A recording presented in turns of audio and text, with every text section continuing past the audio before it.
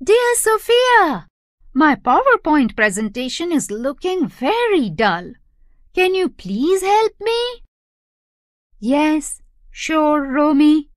We can add some advanced features of PowerPoint in your presentation.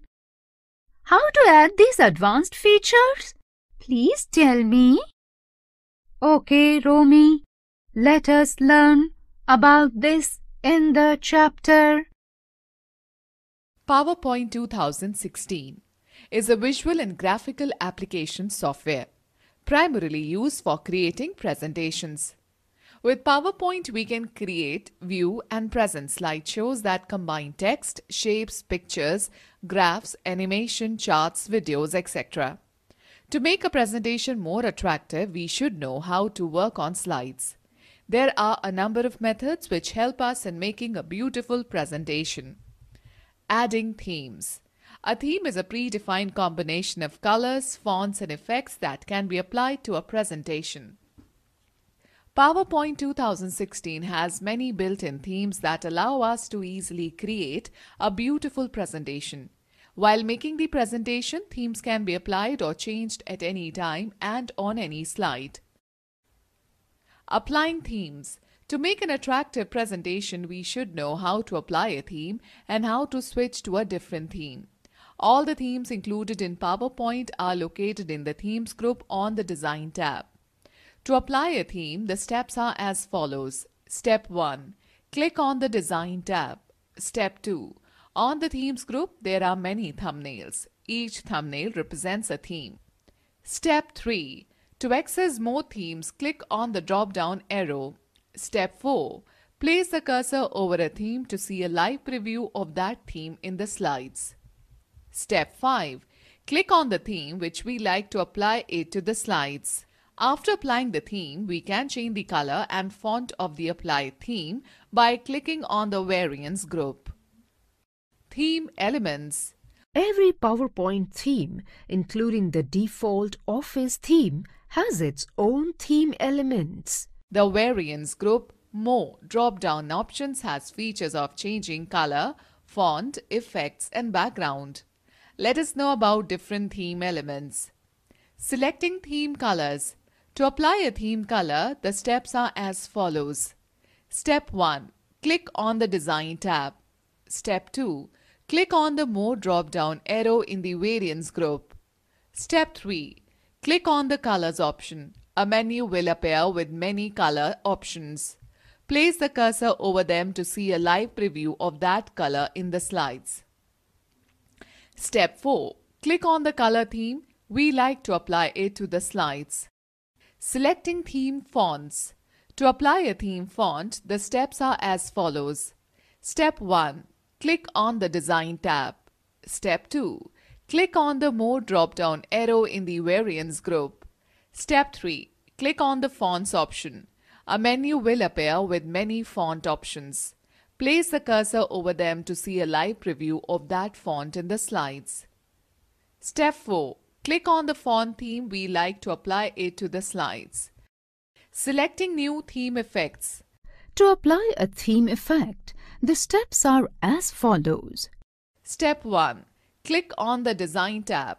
Step 2. Click on the More drop-down arrow in the Variants group. Step 3. Click on the Effects option.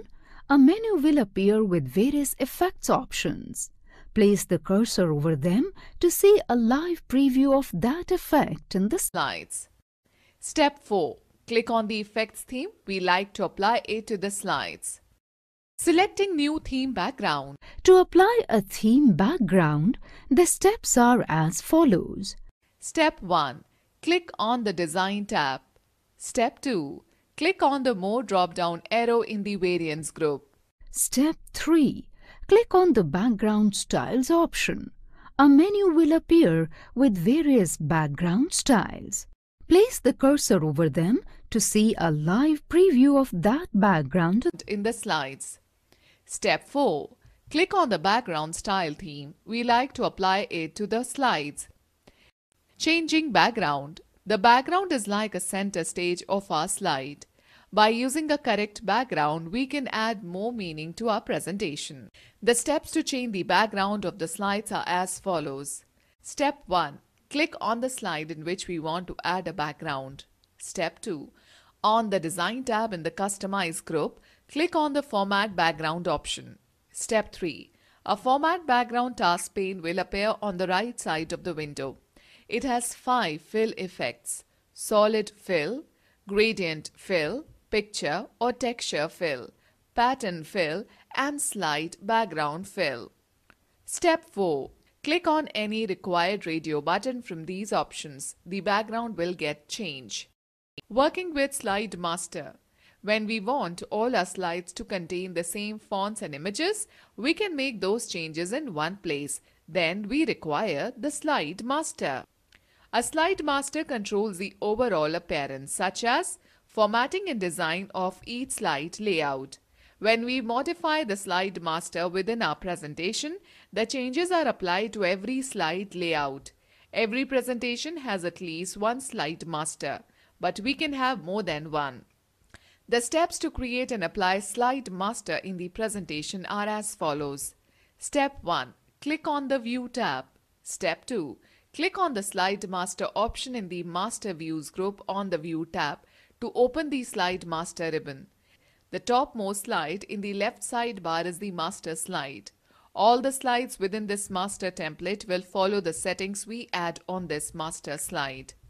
Step 3. Make changes to the master slide regarding the theme, design, font properties, position and size of the title and other content using the Slide Master tab. Step 4. Create our own layouts by clicking on the Insert Layout option in the Edit Master group of the Slide Master ribbon. Step 5. After making all the changes, click on the Close Master View option to close the Slide Master. The changes made in the master file will appear in all the slides. Inserting Smart Art PowerPoint offers a unique feature called Smart Art, which allows users to add text to predefined art designs. The advantage with Smart Art, although each component of the Smart Art can be edited individually, is that you can also modify the Smart Art as a whole while retaining the settings on each individual Component. the steps to add a Smart Art to PowerPoint are as follows. Step 1. Click on the Illustrations group on the Insert tab. Step 2. Click on the Smart Art option to open Choose a Smart Art graphic dialog box. We can choose the Smart Art category and then pick individual Smart Art types from the list. We can also get a preview and a short description of the graphic in the Preview section. Step 3. Select the Smart Art type and click on OK or double click on the Smart Art type to insert the graphic in the slide. Step 4. A graphic is inserted in the slide where we can enter or modify the Smart Art text. Step 5. Add the necessary details and close to complete the Smart Art insertion.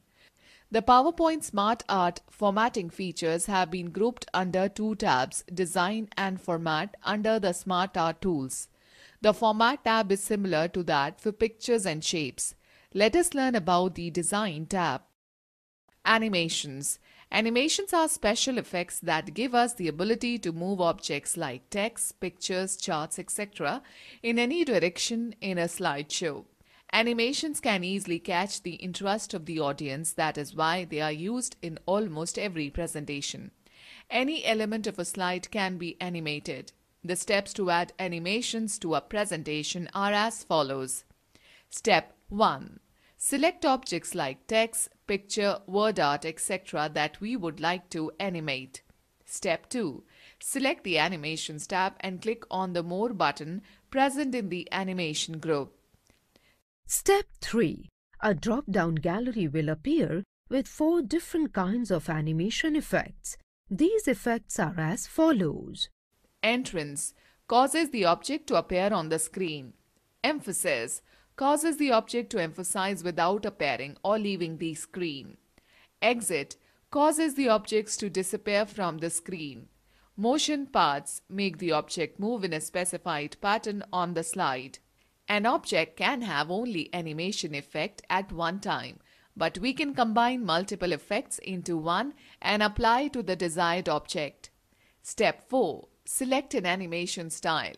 A number tag will appear on the object. This number means when the object is going to enter the presentation. If an object is number 3, it will be the third entry in the presentation. Step 5.